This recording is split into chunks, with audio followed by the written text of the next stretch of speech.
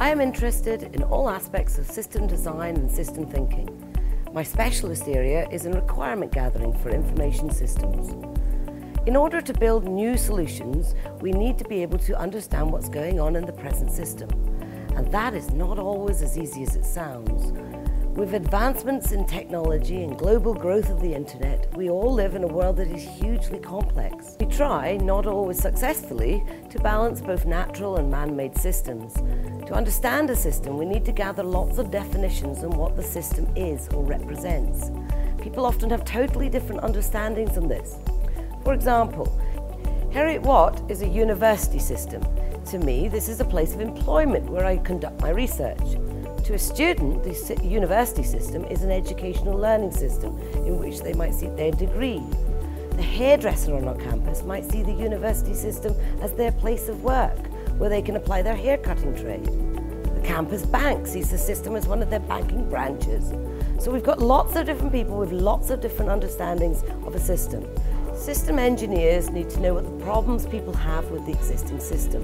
What are their concerns, their worries, their fears for potential change? What should the system be doing? To what degree does the system work or not work? Essentially, system design um, requires lots of questions to be asked from lots of system users. Too often in system design, there is a rush to get to a solution. This solutionizing attitude can be very dangerous. In fact, spending time at the beginning of a project, understanding exactly what is going on, will, in the long term, save time and resources. One way to assist the exploration of many worldviews is the rich picture. The rich picture is an image that merges text and visuals to show complex stories. Rich picture is a physical picture drawn by either an individual or a variety of hands. The rich picture encourages group discussion. Pictures are hand-drawn and there are no rules to drawing them. The pictures embody the commonly expressed view that a picture paints a thousand words. Essentially, the rich picture is a tool for shared thinking and wide communication.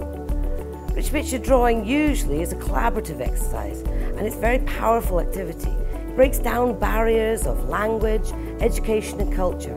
Let me show you some of these pictures.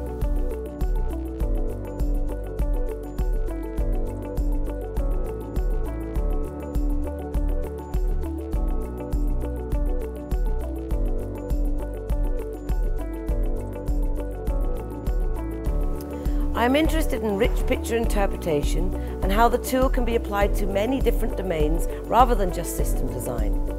So, if my research area resonates with areas of research that you are or would like to get involved in, then please do contact me.